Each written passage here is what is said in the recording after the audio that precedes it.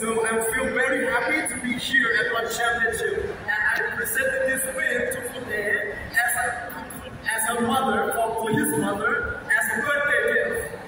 Well, happy birthday to your mom. What a great performance. I know there was a lot of you weight on your shoulders coming into this fight. How does it feel to perform like that here at this legendary stadium, Ruby? When they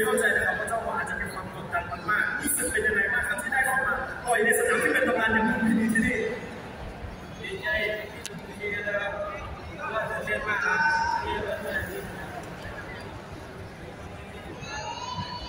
I